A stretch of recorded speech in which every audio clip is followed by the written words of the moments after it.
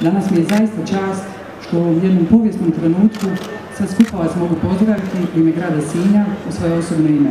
Danas posebno pozdravljam obitelj doktora Marka Veselice, kao i našeg premijera i sve ministre, kojim i ovim putem se zahvaljujem što su našli vrijeme da s nama podijele ovaj jedan povijesni pečat koji zaista odaje jedno priznanje velikom čovjeku, Sinjaninu i Cetinjaninu.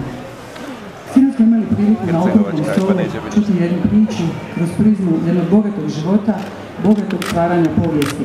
Na tome smo neizmjerno zahvalni, kao što smo zahvalni njegovoj obitelji na ustrajnosti, isto onako kao što je on bio ustrajan. Sinoć smo imali priliku čuti jednu prekrasnu zapravo rečenicu koju je on često izgovarao, a to je Hrvatsku volim kao što dijete voli, kao što majka voli svoje dijete.